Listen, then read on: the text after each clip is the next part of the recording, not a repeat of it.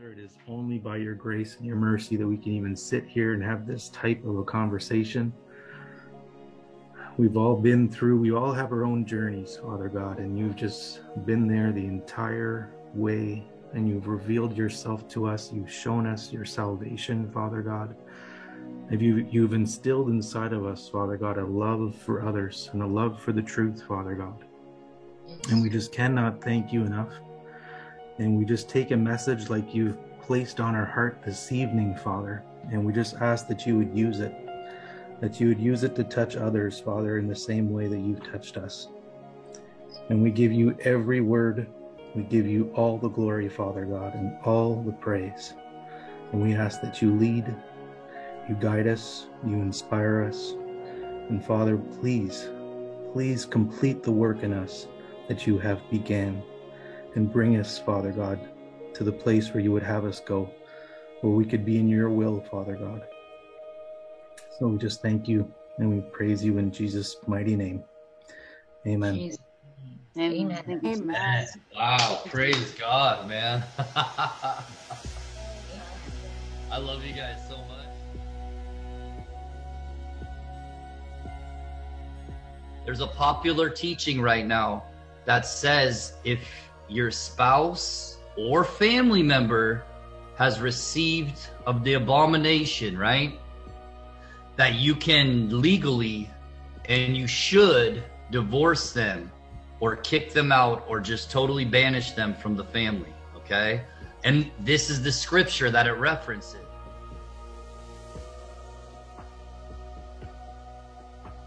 That scripture right out the gate, right out the gate, Jesus says your right eye and Jesus says your right hand, okay?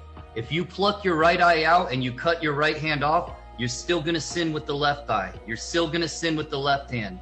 If you pluck the left eye out and cut the left hand off, you're still going to sin because the sin isn't in the eye or the hand, the sin is in the heart. And that's what Jesus is trying to address here. So this is what Jesus is addressing in the scripture and somehow in the body of Christ today, we're we're having husbands divorce wives, wives divorce husbands, parents, you know, ban- banishing children from their families because of a medical choice they chose to make, right? And and this is the scripture that they're using to back this teaching, and I think that we should address it. If you look at Proverbs, in Proverbs um, 6, it talks about the abominations of God. Mm. The very last one that he speaks about is divide, division. Division is an abomination of God. If you can read that, what is a true and abomination to God? It says a false witness who speaks lies and one who sows discord amongst the brethren. Now, do you think, now, do you think these teachers on YouTube, whomever it may be, if they had a relationship with the Lord Jesus Christ, had a relationship with the true word of God, because the true word of God is what we declare to be true, would be speaking half of what they're speaking. Yes. Mm. Because those things right there that you mentioned in Proverbs fear me. And those are the things I look at in my heart saying, Lord, I don't, I don't want anything to be an abomination to you. So if we look at the big picture of these things, when people start speaking on their platform, are they showing any of those abominations? So, Tina, let me ask you this then. What would you say to a brother or sister in the Lord Jesus Christ who's who's hearing this and they're they're on the fence and they're thinking and they don't know, you know what I mean? What would you say to that person who's um throwing that back and forth in their mind about divorce over uh because their their spouse received the you know what? You know, don't divide. God says that. Don't divide. Don't cause division. Don't don't do any of that. But to love one another because love covers a multitude of sin. Amen. Amen. I do have a scripture too that I want to share when you talk about that divide. Um, Matthew uh, 19. I say to you, this is Jesus speaking. I say unto you, whosoever shall put his wife away his wife, except it be for fornication, and shall marry another, committeth adultery. And whoso marrieth her which is put away, doth commit adultery. So the only reason that he says to put the wife away is fornication. And what he brings together, let no man put asunder. I also too feel for like some of those that are doing these teachings because in James 3 1 it says, Don't count that you be a teacher, knowing that you'll be held to a stricter judgment, right? Amen. I don't know about you guys, but that puts the fear of God in me when I think about that. Yes.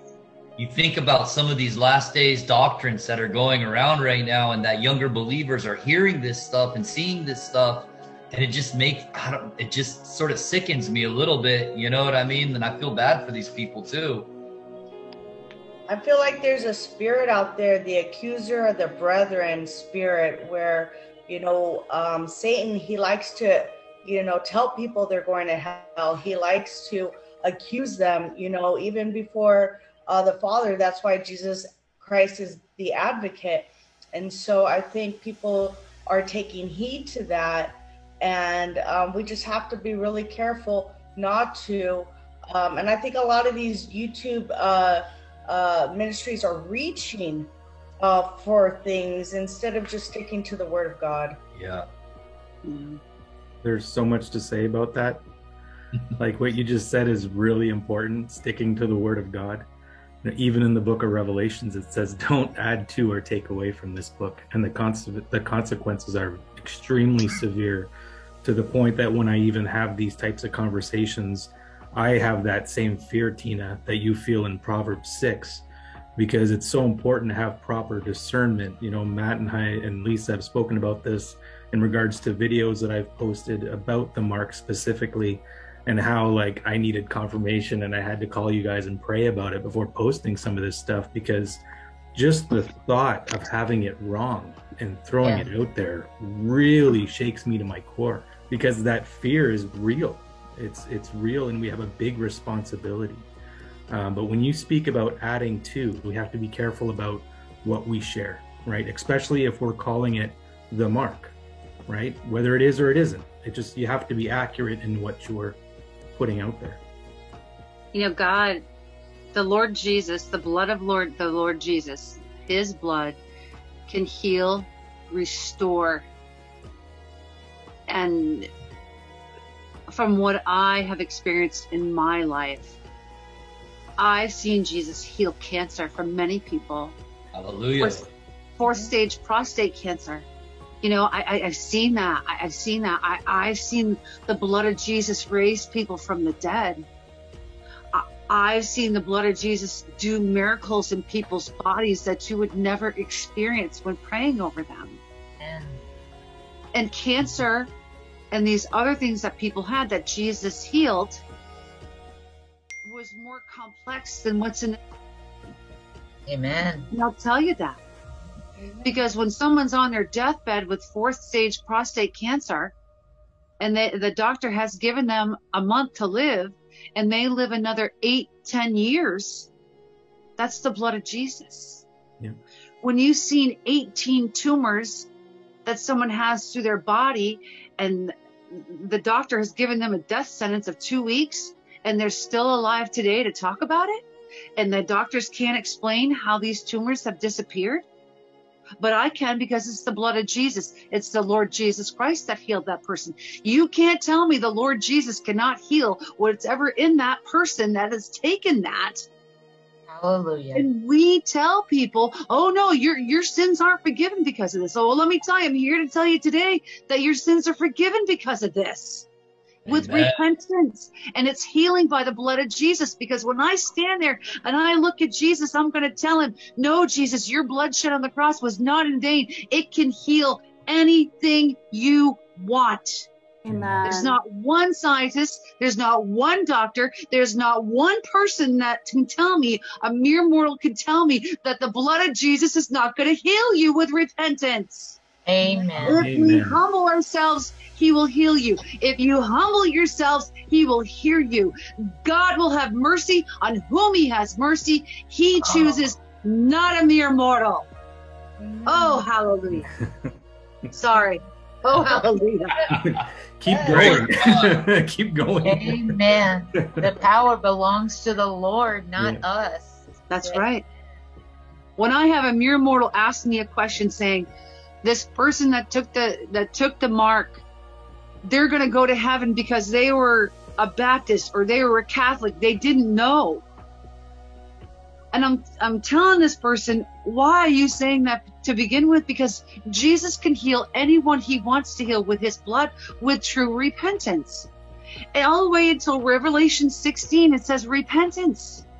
Mhm. He requires repentance. And if it takes you to get on your face and sit there and beg and plead with him and ask him to forgive you of your sins, he will grant you that with true repentance. And that's it. I've seen things. I've, I've seen things that will blow your mind. You know, God, he'll do whatever he wants. It's his will. It's the bloodshed of Jesus, the bloodshed of Jesus on the cross. And how do we say to someone that their sins are not forgiven? How do we say that to another mere mortal? We're, How we're do we not. say, and how do we say, oh, I'm sorry, you, you're taking that. Um, there's nothing I can do for you. Really? So in Judgment Day, you're going to stand there in front of our King, our Lord and Savior, and you say, sorry, Lord, I told him there was nothing I could do. Think about it. If we reverse that role, Yeah. right? If we, we tell everyone to repent. We, we teach the kingdom. We, we, we tell people about repentance. We tell them what Jesus did on the cross. I'm not going to stop teaching repentance. I'm, I'm not going to do that. Right. And the word says we don't judge who comes up. He says you don't judge who goes up and who goes down. Amen. That's very clear. Romans 10, 6 and 7. But the righteous, which is of righteousness, which is of faith, speaketh on this wise Say not in thy heart, Who shall ascend into heaven? That is, to bring Christ down from above. Or, Who shall descend into the deep? That is, to bring Christ again from the dead. God is the just judge eternal of the universe, not us. We're just the dust of the earth. Amen. So when we when we sit in the seat of judgment, judging for that same measure that we pass judgment, the Lord shall render unto us. What about the children who are be or who are given this and they're so young they haven't even reached the age of accountability yet? Yeah, that's another Um, what about the the elderly who have Alzheimer's who are given this um, without even their consent? Um, you know, what what about them? So you know, Matthew and I for for a while were really, you know, thinking that maybe this was. But we have to be careful. We have to humble ourselves. We can't dig our heels in because of pride. You know, because we're all trying to figure this out together.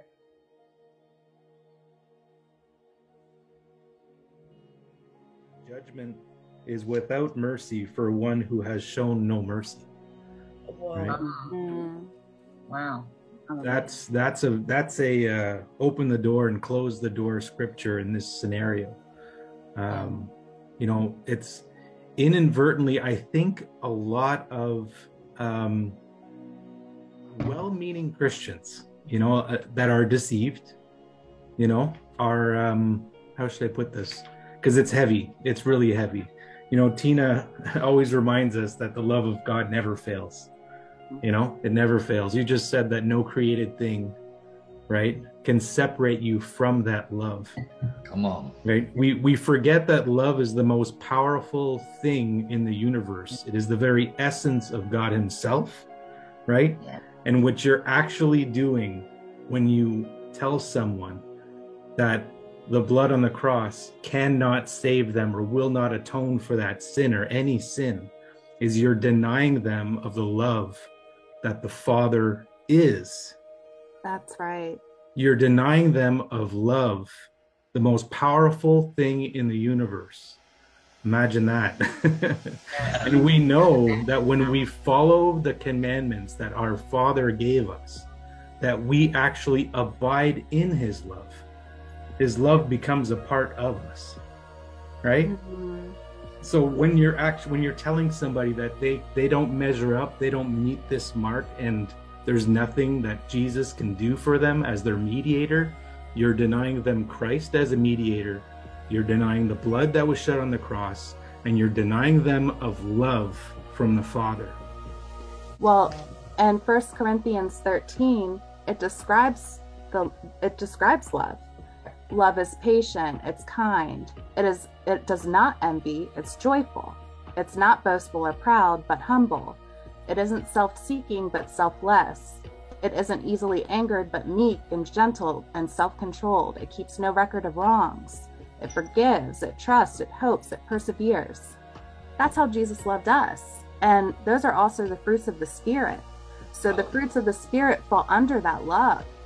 And if, if we're denying the if we're denying God to work his love through us, then we're not showing the love of Christ to people.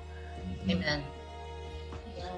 Amen. That's a big amen right there. That's that says it all. Mm-hmm. If we're denying them that. Now all things are of God, who has reconciled us to himself through Jesus Christ, and has given us the ministry of reconciliation. That is, that God was in Christ reconciling the world to himself, not in putting their trespasses to them, and has committed to us, that's us, the word of reconciliation. Therefore, we are ambassadors for Christ, as though God were pleading through us. We implore you on Christ's behalf, be reconciled unto God. So, why would a God who brings the whole earth reconciled to himself have this thing and be like, nope, let's divide the family over this one little thing? It doesn't make any sense at all. I don't understand. And I'm sorry, I'm very passionate about this. I don't understand how God's people can can be so deceived and so blinded by the tricks and the lies and the snares of the enemy and not be spending time with the Lord in the secret place to get confirmation on these words. We live in the last days, and the Lord warned us that there's going to be many false prophets. Just like in ancient Israel and in Ezekiel 34, there were false shepherds leading God's people. We see that now, and this is what's happening now, and this is what's destroying the family now. And like you said, Tina is taking away from the power of the atoning blood of the Lamb of God who was shed on our behalf.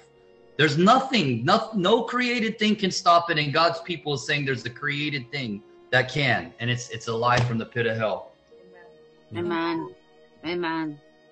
Yeah. You And just we- made me think of a scripture, uh, Matthew, when you shared those, when you were talking just now in Second Corinthians 4. Um, you were just talking, and why can't they see this? Mm. It says, Because if our gospel be hid, it is hid to them that are lost. People cannot see the magnitude of the love of Jesus Christ in them, the, the immeasurable blood, the immeasurable love that he shed. So that reminds me of that scripture because when it says in Matthew 24, when the love of many will wax cold, Mm-hmm. he says they will see in, in Second Thessalonians uh, chapter 2, I believe, or chapter, it says you will receive a strong delusion because they will receive a strong delusion because they refuse to accept the love of the truth. Mm. That love, Wow. the very elect can be deceived if it were possible, but it's not because the very elect are not deceived because they do have the love of the truth. They know that Christ's blood is immeasurable. They know not to decide who goes up and who goes down. They know that God hates divorce and would never separate and put asunder what He put together. But you know what? They look for excuses because they refuse to accept the love, the profound love of the truth. You know, even right now, as the people are listening to this, Lisa, it's resonating even in their spirit. You know what I mean? That and that's why we have so many that are offended by this because deep in deep in their heart, you can't lie to God. You can't lie to the Holy Spirit of the living God who lives inside of you. And, and they know the sound of truth. I know. Yeah, no, we have to seek the heart of God in every matter. You know, it really really boils down to that. You know, like when you're when you're reading the Word of God, it's renewing your mind, right? And you're able Yeah. to understand and see the will of God in every matter. I think I, I wrote it down. I think it's in Ephesians. It says, uh, "Don't be a fool. Understand the will of God." right? Sounds so simple, but it's like a quest that we go on day in and day out. We read His Yep. Word and we understand the heart of God in different matters as we grow.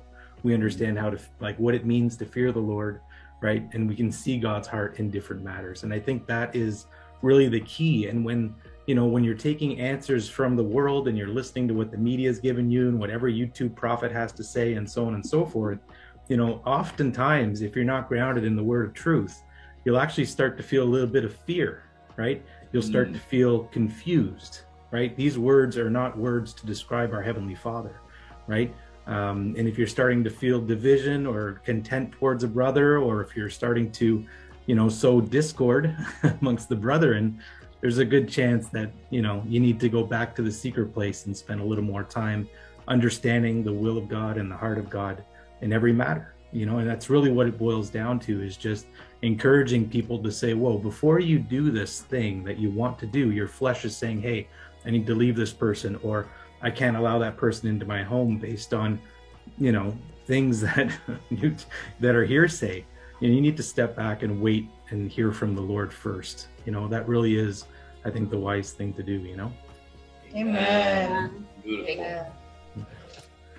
I have one other one other thing I have to share that came across. Uh, I think I mentioned this to Matt the other day.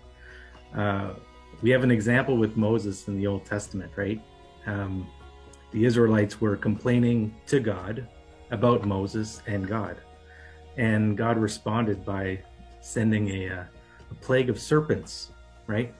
And so all of these individuals were getting snake bitten, right?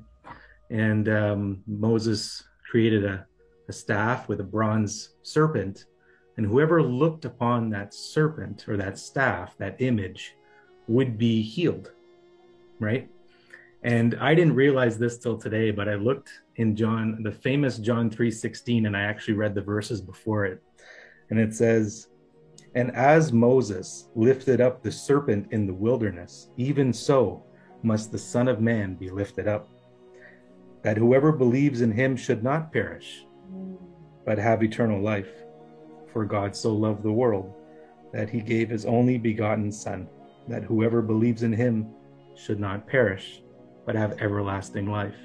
And so, like Moses in the wilderness with his staff and the stake, right, the snake, Jesus is saying the Son of Man is to be looked is to be raised up as well. It's actually, I was um, praying one night and I just uh, decided to just play my instrument to the Lord. You know, just pray silently and just play to Him. And when I got done, he, I heard Psalm 117. Just hear it whisper in my spirit. Psalm 117. I turned to it, and the song that I had played him was just coming off of. He, he was giving everything. Um, it ended up being it fit with the music perfectly. So I'll grab my guitar and share that with y'all again. Praise ye the Lord. Oh,